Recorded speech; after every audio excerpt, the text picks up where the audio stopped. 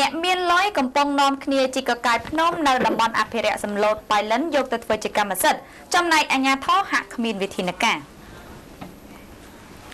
ប្រពន្ធពីប្រជាពលរដ្ឋបានឲ្យដឹងថាដីព្រៃនៅតំបន់អភិរក្សធនធានធម្មជាតិសំឡូតបៃលិនពេលនេះកំពុងរងការខូចខាតយ៉ាងធ្ងន់ធ្ងរព្រមជាមួយនឹងភ្នំតូចធំមួយចំនួនក៏ត្រូវក្រុមឈ្មួញមានលុយជីកកកាយដើម្បីរៀនយកដីមកធ្វើជាកម្មសិទ្ធិផ្ទាល់ខ្លួនចំណែកអាជ្ញាធរ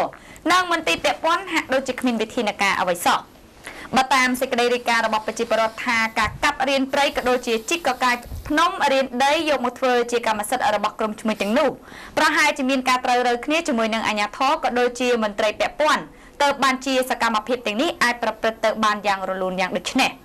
ចំពោះបញ្ហានេះលោកម៉ៅវឿនអនុប្រធានតំបន់ការពារធនធានធម្មជាតិប្រើប្រាស់ច្រើនយ៉ាងសម្លុតបៃលិនបានថ្លែងថាពិតជាមានការកាយភ្នំនៅចំណុចខាងលើនោះមែនហើយខាងលោកបានប្រហាមឃាត់មិនឲ្យមានការកាយបន្តទៀតនោះទេចំណែកឯមួយកន្លែងទៀតនោះគឺគេកាយធ្វើផ្លូវចូលទៅក្នុងសហគមន៍ការពារព្រៃឈើតែប៉ុណ្ណោះ